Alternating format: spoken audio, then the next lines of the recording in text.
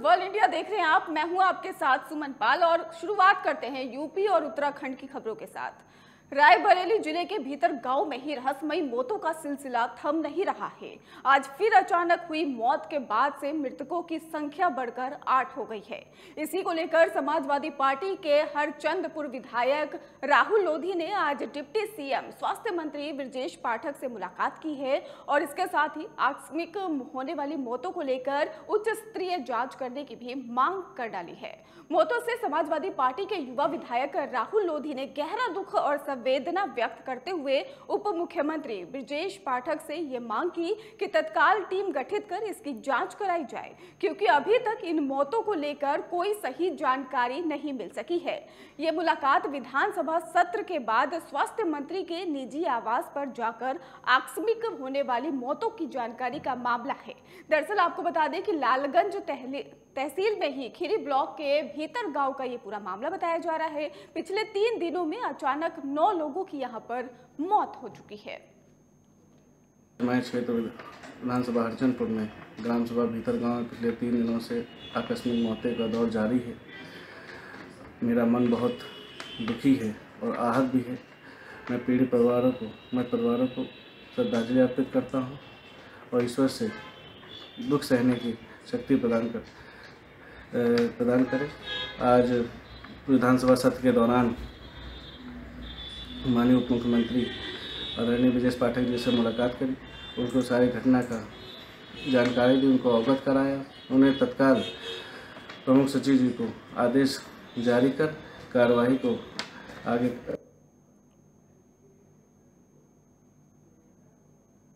ललितपुर से खबर है, जहाँ एक भाई ने अपने ही सगे भाई के पूरे परिवार को अपना निशाना बनाया है। और दरअसल आपको बता दें कि पूरी घटना ललितपुर ज़िले के थाना कोतवाली अंतर्गत ग्राम खडोबरा की बताई जा रही है, जहाँ एक भाई ने अपने ही सगे भाई को छत से वहाँ से बता दें आपको कि कैबिल निकालने को लेकर भाई उसकी पत्नी और उसके दोनों बेटों के ऊपर लाठी डंडों से हमला कर गंभीर रूप से घायल कर दिया गया है। सभी को पुलिस की सहायता से जिला चिकित्सालय लाया गया है, जहाँ पर चारों का इलाज चल रहा है। वहीं पुलिस मामले की जाँच में भी जुट गई है।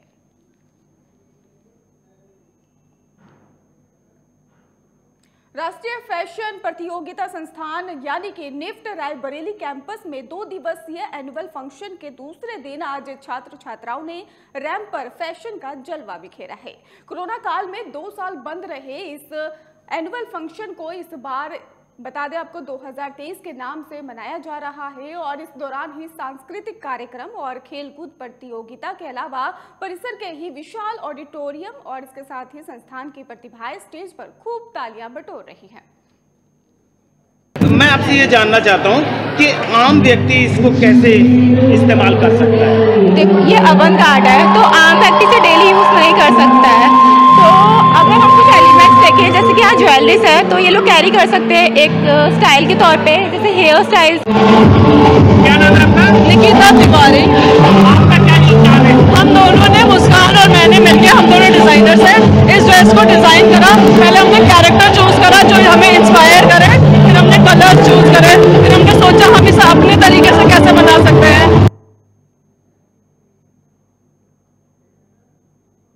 चलिए रुक करते अगली खबर की ओर। रायबरेली में दो बाइकों की आमने सामने जोरदार भिड़ंत हो गई है और बाइकों की भिड़ंत में परीक्षा देने जा रहे चार छात्र मार्ग दुर्घटना में घायल हो गए हैं। वहीं स्थानीय लोगों की मदद से घायल छात्रों को नजदीकी स्वास्थ्य केंद्र में भर्ती कराया गया है।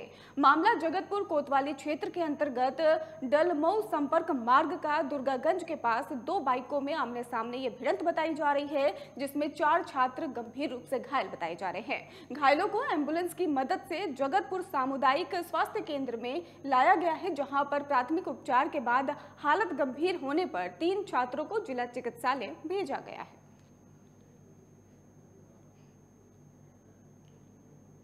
हरिद्वार जिला बास्केटबॉल एसोसिएशन द्वारा प्रेमनगर आश्रम में ही तीन दिवसीय all India investors basketball tournament का शुभारंभ किया गया। मुख्य अतिथि खेल मंत्री रेखा आर्य, पतंजलि योगपीठ के महामंत्री आचार्य बालकृष्ण सहित कई गणमान्य लोग शामिल हुए। ऑल इंडिया इन्वेस्टर्स को लेकर ही बास्केटबॉल में देश के तमाम राज्यों से खिलाड़ी हरिद्वार पहुँचे और यहाँ प्रतियोगिता 24 तारीख से 26 तारीख तक आयोजित की जाएगी।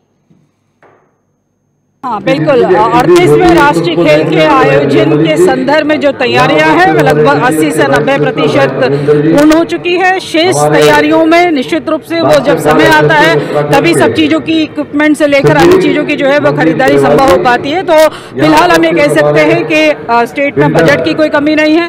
केंद्र की तरफ़ से भी भरपूर आशीर्वाद मिलता है और माननीय मुख्यमंत्री जी का भी पूरा मार्गदर्शन और सहयोग प्राप्त होता है। स्वास्थ्य को ठीक रखने के लिए खेल सर्वोत्तम साधन है। और जब शारीरिक श्रम होता है तो शरीर के विकार समाप्त हो जाते हैं और बास्केटबॉल भी क्योंकि शारीरिक श्रम वाला कार्य है तो बास्केटबॉल के माध्यम से अ, सभी जो देश के प्रसिद्ध खिलाड़ी हैं अपनी प्रतिभा को अपनी क्षमता को यहाँ पर प्रदर्शित करेंगे।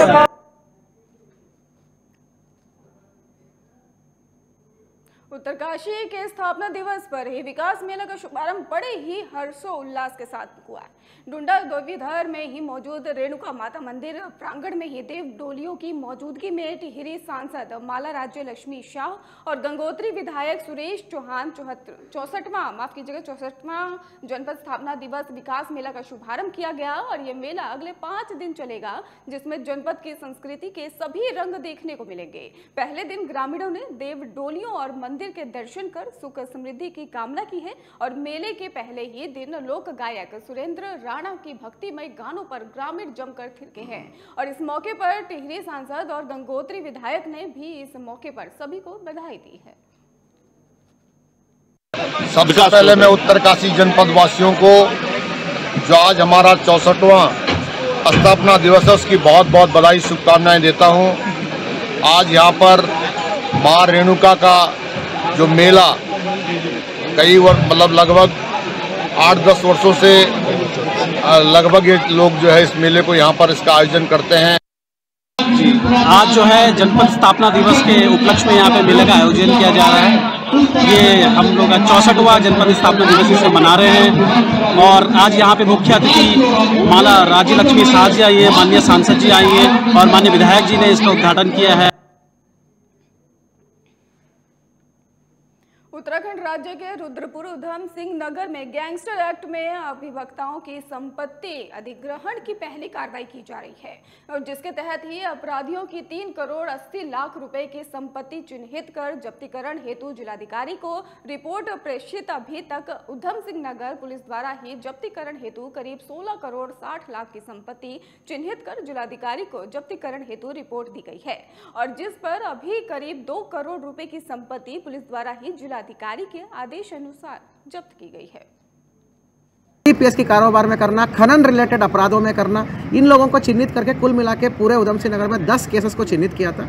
उनमें से अभी तक काफ़ी करोड़ों रुपए का संपत्ति हमने चिन्हीकरण करके भेज दिया है जब्तीकरण के लिए। कल एक बहुत बेहतरीन उपलब्धि हुआ था कि माननीय डीएम साहब की न्यायालय ने तो हमारा रिपोर्ट पर मुहर लगाते हुए तो हमारे को दो करोड़ की संपत्ति, दो लोगों का, दो अभियुक्तों का, दो करोड़ से भी अधिक संपत्ति को जब्तीकरण का आदेश दिया है। इनमें से एक अभियुक्त जो है गोकशी का संलिप्तता पाया गया है। दूसरा अभियुक्त जो है मतलब एनडीपीएस का बहुत भारी का कारोबार कारोबार करता है। इन दोनों का दो करोड़ से भी अधिक संपत्ति जो है हमने जब्त कर लिया है मा- खबर हरिद्वार से है, जहाँ रोशनाबाद में मौजूद एसडीएम कार्यालय में एसडीएम पूर्ण सिंह राणा के द्वारा ब्लॉक बहादराबाद के ग्राम पंचायत लाल ढांग में ही हुए उप प्रधान चुनाव को लेकर कार्यवाही के संबंध में विस्तृत जानकारी देते हुए बताया गया है कि हाल ही में हुए उप प्रधान चुनाव में शिकायतें प्राप्त हुई है कि ग्राम पंचायत लाल डांग क्षेत्र में ही उप ग्राम प्रधान चुनाव को क्लीन तरीके से नहीं किया गया है। उन्होंने जानकारी देते हुए बताया है कि ऐसे मामलों में नियम के तहत अगर कोई प्रत्याशी संतुष्ट नहीं है। मुसम्मिन अंसारी जी सर अब 16 तारीख को ग्रामलाल ढांग में चुनाव हुआ था उप प्रधानी के लिए जिसमें टोटल मेंबर 15 थे। 15 में से सर आठ मेंबर मेरे साथ थे लेकिन वहाँ जब मतगणना हुई है तो उसमें सात मत निकले हैं और एक मत गीता जोशी को मिला है और उसमें एसपी चमोली, परवेंद्र डोभाल ने ही कर्णप्रयाग थाना कोतवाली का निरीक्षण किया है और इस दौरान उन्होंने महिला हेल्प डेस्क पर प्राप्त शिकायतों और डायल 112 की सूचनाओं से संबंधित सूचनाओं का अवलोकन किया है और अस्त्र शास्त्रों की जाँच की है। साफ़ सफ़ाई को लेकर भी उन्होंने ज़रूरी दिशा निर्देश दिए हैं। पुलिस अधीक्षक चमोली, परवेंद्र डोभाल ने वार्षिक निरीक्षण कार्यक्रम के तहत कर्णप्रयाग थाना कोतवाली का निरीक्षण किया है। आज मेरे द्वारा वार्षिक निरीक्षण थाना का किया गया था और इसमें क्योंकि लोगों के जो हमारे कर्मचारी रुके हैं, जहाँ पर रहते हैं, वहाँ पर उनके रुकने का कैसा अरेंजमेंट है, उसको देखा गया, उनके खाने के भोजन की क्या व्यवस्था है, उसको देखा गया। कुछ अभी हमारे सुधार की आवश्यकता है, खासकर भोजन जहाँ पर हमारा भोजन का मैस का जो है, उसको हम लोग थोड़ा और ठीक कराएँगे। इस बार चार धाम के टाइम में इस व्यवस्था को थोड़ा दुरुस्त करेंगे और बाकी रख रखाव वगैरह थाने का इन- इनके द्वारा ठीक किया गया साढ़े तीन सौ साल से भी प्राचीन शिव मंदिर में पिछले पाँच दिनों से शिवरात्रि से लगे मेले का आज महायज्ञ के साथ मेले का समापन हो गया है। मेला कमेटी के सचिव किशोर मलिक ने कहा है कि शिवरात्रि से पाँच दिवसीय मेले का आज महादेव की कृपा से अच्छे ढंग से समापन कर दिया गया है। उन्होंने कहा कि प्रशासन की मुस्तैदी के कारण कोई भी लड़ाई झगड़ा इस बार नहीं हुआ है। मेला कमेटी के सचिव होने के नाते पहले तो दुकानदारों का, दुकान आवंटित करने का ज़िम्मेदारी था। फिर उनकी जो जो भी परेशानी उनको देखने का ज़िम्मेदारी मेरे ऊपर ही था। जैसे शौचालय हो गया, सफ़ाई हो गया, सब ज़िम्मेदारी मेरे पर ही थी और अध्यक्ष जी ने सारी ज़िम्मेदारी मेरे को दे तो मेला तो खाली हमारे वश से नहीं हो सकता है। हमारे लिए पुलिस प्रशासन ने बहुत ही अच्छा काम करा है, जिस वजह से हमने मेला अच्छी तरीके से संपन्न करा पाए हैं। सोशल मीडिया पर एक सीसीटीवी फुटेज वायरल हो रहा है और वायरल फुटेज में एक डंपर आता दिख रहा है।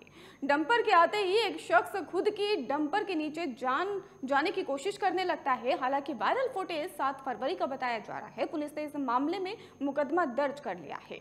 मामले में पुलिस द्वारा जाँच की जा रही है। जानकारी के अनुसार बताया जा रहा है कि वायरल फुटेज झबरेड़ा थाना क्षेत्र का बताया जा रहा है। वायरल फुटेज में जो शख्स डंपर के नीचे जाता हुआ दिख रहा है, वो शख्स जबरेड़ा थाना क्षेत्र के जटोल गाँव का निवासी बताया जा रहा है।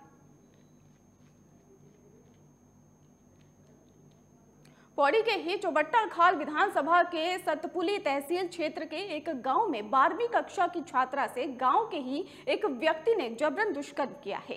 पीड़िता की तहरीर पर पुलिस ने मामला दर्ज कर लिया है और इसके साथ ही उप जिलाधिकारी संदीप कुमार ने बताया है कि सतपुली तहसील के एक गाँव की बारहवीं की छात्रा की तहरीर के अनुसार ही पास गाँव के एक तिरालीस साल के व्यक्ति ने घर के निकट खेतों में उसके साथ उसे भयभीत कर दुष्कर्म किया है। जिलाधिकारी ने मामले की गंभीरता को देखते हुए मामले को लेकर रेगुलर पुलिस को ही ट्रांसफ़र कर दिया है। तहसील सतपुली क्षेत्र अंतर्गत विगत 22 फरवरी में एक मामला हमारे संज्ञान में आया, जिसमें एक जो नाबालिग लड़की है, उसके साथ दुराचार का मामला प्रकाश में आया है। उसमें हमें 22 तारीख में तहरीर प्राप्त हुई है। तो हमने 22 तारीख में उसमें एफआईआर क्लोज कर दी थी। इसके साथ साथ में जो मामला है, वो रेगुलर पुलिस को भी हमने ट्रांसफ़र कर दिया है, जिसमें आयु नियुक्त हो चुका है तथा तो विवेचना जारी है। झांसी में अचानक संतरी डेरा के निकट संतरा से भरा हुआ ट्रक ड्राइवर से टकराकर ही पलट गया है और जिसमें संतरे लदे हुए थे। संतरों के ट्रक के ही पलट जाने से सूचना मिली और काफ़ी संख्या में ग्रामीण वहाँ पहुँच गए। संतरों की लूटपाट शुरू कर दी और इसके बाद ही मौके पर पहुँचे चिरगांव थाना प्रभारी ने संतरे बटोरने वाले लोगों को मौके से खदेड़ दिया और चालक को फ़िलहाल अस्पताल में भर्ती करवाया है। भैया, ये जो एक्सीडेंट हुआ है अभी, कैसे हो गया? ये रात में चौदह चक्का वाला साइड में चल रहा था। अच्छा। तो हम लोग तो वैसे भी रफ्तार हम लोग की तेज होती है पैंसठ सत्तर कोई चलते ही है। तो उसने गड मार दिया। आप लोग कहाँ से आ रहे थे? हम लोग आ रहे थे सारंगपुर से। और कहाँ जा रहे हैं? कानपुर। कानपुर जा रहे हैं। कोई जनहानि तो नहीं हुई? नहीं नहीं ठीक। पुलिस मौके पर आई? हाँ पुलिस। बानपुर से एक शादी समारोह से लौटते समय एक ट्रक ने ही रौन दिया है, जिसमें एक महिला की मौके पर ही मौत हो गई है। वहीं महिला की बहन और भाई जो है, वो घायल बताए जा रहे हैं, जिन्हें एंबुलेंस की सहायता से जिला चिकित्सालय लाया गया है, जहाँ पर चिकित्सकों ने ही संगीता निवासी शिवपुरी को मृत घोषित कर दिया है। तो वहीं भाई और बहन का इलाज चल रहा है। बताते चले आपको की जानकारी है कि ये सभी बानपुरा के ही एक शादी समारोह में ही कल्याणपुर लौट रहे थी और कि आपको बता दें कि कचरौंदा के ही पास एक ट्रक ने बाइक पर सवार इन भाई बहन में टक्कर मार दी। टक्कर इतनी भीषण थी कि एक बहन की मौके पर ही मौत हो गई है। वहीं दो अन्य घायल बताए जा रहे हैं। घटना की सूचना परिजनों को जैसे ही लगी, मानो पूरे परिवार में कोहराम मच गया है। सबका रो रो कर बुरा हाल है।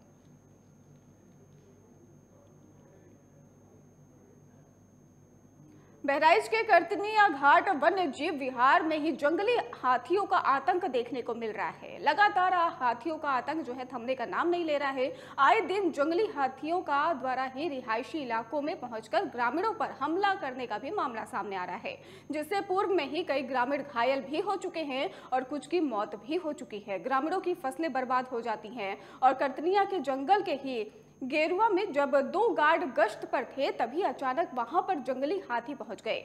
बाइक सवार गार्ड ने ही भागने की कोशिश की, लेकिन जंगली हाथी ने उन पर हमला कर दिया और इस हमले में बाइक पर पीछे बैठा गार्ड अजय सिंह गिर गया और जिसके बाद अजय सिंह ने अपनी जान बचाने के लिए झाड़ियों की तरफ़ भागा। किसी तरह से गार्ड अपनी जान बचा पाया है, लेकिन तब तक हाथी द्वारा किए गए हमले में गार्ड अजय सिंह गंभीर रूप से घायल हो गया और जिसमें गार्ड के सीने में गंभीर चोटें आई हैं और सिर में चोट आई है।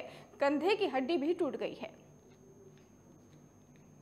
तकरीबन 12 साढ़े बारह बजे के आसपास में दोपहर में कतरनिया घाट डिवीज़न की कतरनिया घाट रेंज का जो ट्रांस गिरवा क्षेत्र है, गिरवा नदी के उस तरफ़, नेपाल बॉर्डर के पास वाला क्षेत्र, बीट वन में दो वन रक्षक, अजय सिंह जो जख्मी हुए हैं और साथ में योगेश प्रताप, ये दोनों पेट्रोलिंग कर रहे थे अपने मोटरसाइकिल पे और चलते चलते क्योंकि सघन जंगल है, उस पर अचानक एक तरफ़ से हाथी आ गया और जो पीछे मोटरसाइकिल पर बैठे हुए थे जो फॉरेस्ट गार्ड अजय सिंह, वो मोटरसाइकिल से गिर पड़े और वो अपनी जान बचाने के लिए जंगल के बीच में भागे। तो तकरीबन 100 मीटर के आसपास तक वो भागे, जहाँ पर वो जो टस्कर था मेल टस्कर हाथी था, उसने चेज़ किया।